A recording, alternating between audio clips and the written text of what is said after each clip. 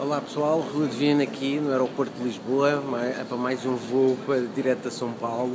E hoje, mas eu não podia, queria dar uma mensagem muito especial hoje sobre Martin de Rede, porque ontem à noite estava a falar com o meu irmão ao jantar, estávamos a falar sobre um distribuidor nosso que acabou de se inscrever ontem e que por coincidência foi despedido.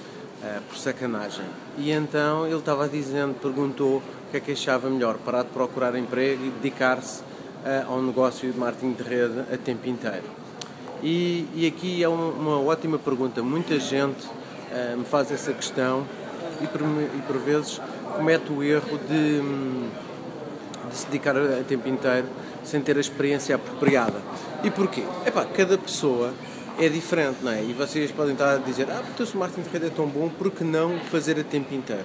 Não, cada pessoa é diferente, tem energias diferentes, conhecimentos diferentes, circunstâncias diferentes e o que é verdade para você não é verdade para outra pessoa e vice-versa. E como tal, o que é importante é, primeiro, você ter uma segurança e uma estabilidade financeira. O emprego pode dar isso durante certo tempo e você trabalha em tempo parcial na sua fortuna fortuna e em tempo total no seu emprego.